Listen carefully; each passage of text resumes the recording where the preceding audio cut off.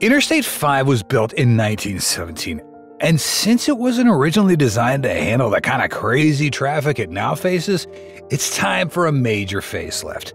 However, rebuilding the bridge will cost a whopping $7.5 billion. But is traffic congestion the only reason for this project? And why is the US willing to spend such a ridiculous amount on this bridge? Well, there's only one way to find out the major problem. The Interstate 5 bridge, which connects Portland, Oregon and Vancouver, Washington, has been around for over 100 years. But not many people realize it's actually two bridges. One was built in 1917, the other in 1958. Back then, the first bridge was state of the art, providing much needed access over the Columbia River. The second bridge was added later on to keep up with increasing traffic. Together, these bridges form a vital transportation link, handling over 138,000 vehicles a day across four narrow lanes. But here's the thing while the bridge may have served well for decades, it's now outdated, overburdened, and extremely unsafe. At first glance, the I 5 bridge might seem fine, but looks can be deceiving. Both structures are classified as functionally obsolete, but that's just a fancy way of saying the bridges weren't designed to handle the traffic loads or speed limits we see today. Back when the bridge first opened in 1917, the idea of thousands of cars zooming across it every day wasn't even a consideration. Then the second bridge added in 1958 was built with an expectation of lighter use than what we see now. Fast forward to today, and you've got bumper to bumper congestion, frustrated commuters, and endless traffic delays. But the biggest headache comes from the lift span that allows boats to pass under the bridge.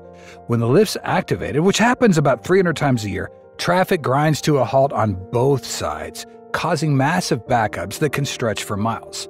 This bridge isn't just inconvenient, it's an anchor dragging down the entire region's transportation network. But traffic congestion isn't the only problem with the I 5, as there are far more serious concerns safety issues. If you thought heavy traffic was bad, wait till you hear this. The I 5 bridge isn't just outdated, it's dangerous. It was built before modern earthquake resistant designs were developed, which means it's highly vulnerable to seismic activity. The Pacific Northwest is sitting on a ticking time bomb thanks to the Cascadia subduction zone, which could produce a massive earthquake at any time. If that happens, experts warn that the current bridge could collapse, cutting off a critical lifeline between Washington and Oregon. Imagine the chaos that would follow. Without a functioning bridge, emergency responders would have no easy way to travel across the river. Supplies wouldn't get to where they need to go, and worst of all, lives could be lost.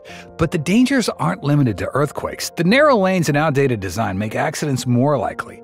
There are no emergency lanes, which means even a minor fender bender can cause hours of gridlock. Now, I know you're probably wondering how it got to the point where a bridge this important is also this dangerous. Well, the answer boils down to neglect, as well as other factors we'll discuss later in this video. But before we do, let's take a moment to ponder on the outrageous cost of rebuilding this old bridge. The $7.5 billion question. Why so expensive? So, why does it cost $7.5 billion to replace this bridge? Well, the answer lies in the scope and complexity of the project. Building a new bridge isn't just about slapping down some asphalt and calling it a day. The new structure needs to address the problems of the past while meeting the needs of the future. First, the new bridge will be significantly taller and wider to accommodate more vehicles, cyclists, and pedestrians.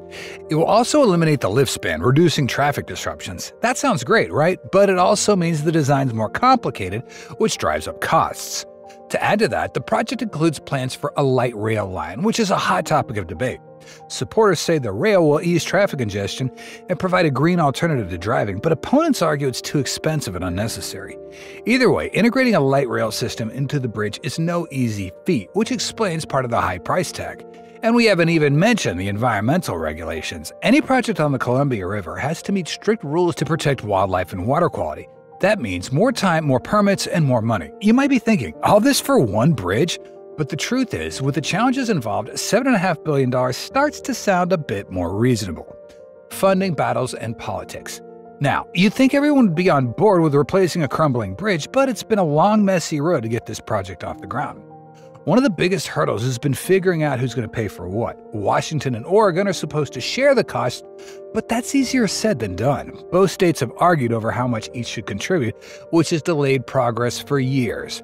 Then there's the debate over the light rail system. Some residents argue that the rail isn't necessary, especially since it adds to the already high cost. Others believe it's essential to the region's future as it provides a green alternative to driving. Environmental groups have also had concerns about the project's impact on the river's ecosystem. Balancing all these competing interests has been a major headache for planners. Thankfully, federal funding has now been approved, but the states will need to finalize their contributions. With everything that's happened so far, you have to wonder will they ever get it together in time? What happens if they don't replace it? So, what if they don't replace the bridge? Simply put, doing nothing isn't an option. The I 5 bridge is too important to the region's economy to let it fall into disrepair. If the bridge fails, the resulting economic impact would be devastating.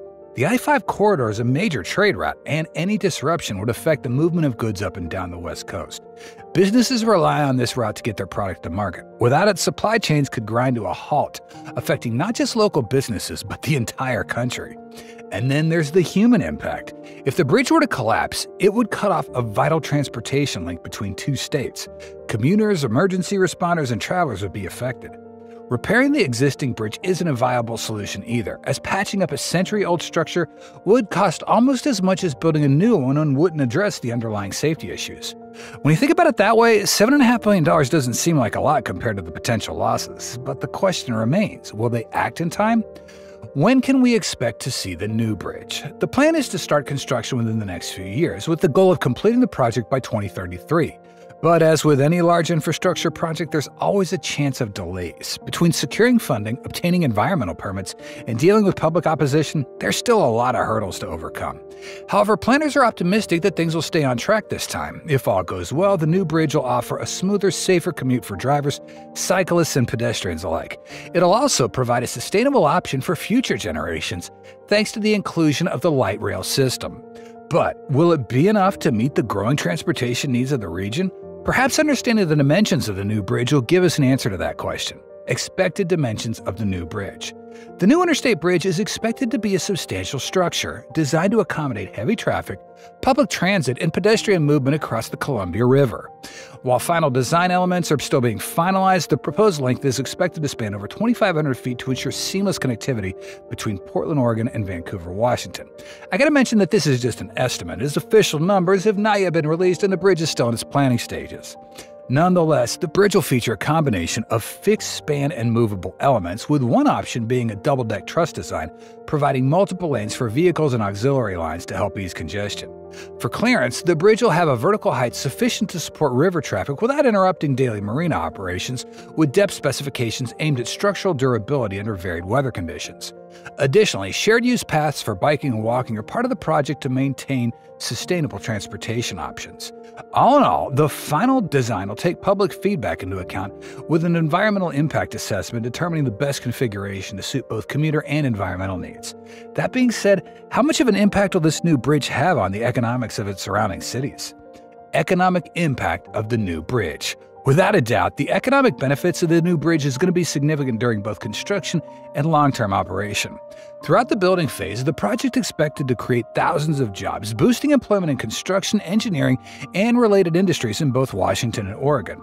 Local businesses are likely to benefit from increased activity as construction workers spend money on housing, food, and services. After the bridge is completed, smoother traffic flow will reduce travel times and transportation costs, fostering trade between the two states. This improved mobility is also expected to attract new businesses, increase property values, and enhance the livability of surrounding areas. The introduction of public transit options along the bridge could further reduce traffic congestion, saving commuters time and increasing productivity. With the enhanced connection between Portland and Vancouver, tourism and local economies on both sides of the Columbia River are likely to see sustained growth over the coming years. These developments align with regional economic strategies aimed at ensuring the infrastructure serves both commuters and the broader community for decades to come. Environmental challenges. Now, the construction of the new interstate bridge faces several significant environmental challenges. One of the major concerns is the potential displacement of residential and commercial properties, with estimates indicating that as many as 43 homes and 36 businesses may need to be acquired to make way for the project. This displacement raises issues regarding community impact and the need for adequate compensation and relocation options for affected residents. Moreover, the project must address its environmental footprint during construction, as construction activities can lead to increased air pollution, noise, and waste. The Interstate Bridge Replacement Program is committed to using sustainable practices, such as utilizing low carbon materials and recycling old bridge components to minimize environmental harm. Lastly, there are concerns about navigation on the Columbia River. particularly if the new bridge design limits the vertical clearances for vessels, potentially affecting maritime activities. This multifaceted approach to environmental challenges highlights the project's complexity and the necessity for careful planning and community engagement throughout the process. Replacing the I 5 bridge isn't just about fixing an old structure, it's about preparing for the future. With increasing traffic, the constant risk of earthquakes, and the need for sustainable transportation, the new bridge will be a game changer for the Pacific Northwest. Yeah, $7.5 billion is a lot of money, but when you consider the alternatives, it becomes clear that this investment is necessary. The real question isn't whether the U.S. can afford to build a new bridge, it's whether they can afford not to. But what do you think? Is the new I 5 bridge worth the cost? Hit the comments below and let us know your thoughts. We're committed to releasing two videos a week. Like, share, subscribe, and hit that bell icon for more visionary builds.